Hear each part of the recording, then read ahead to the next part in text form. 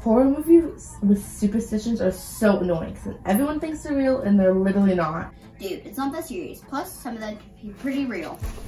See, even you believe them. Just shut up and watch the movie.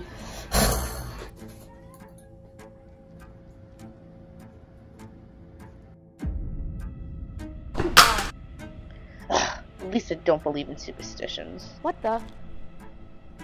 Huh? my god, I must be seeing things.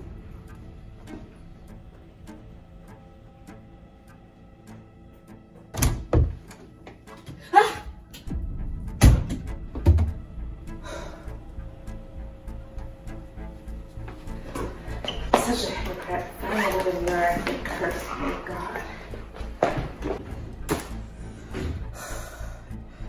Is it over?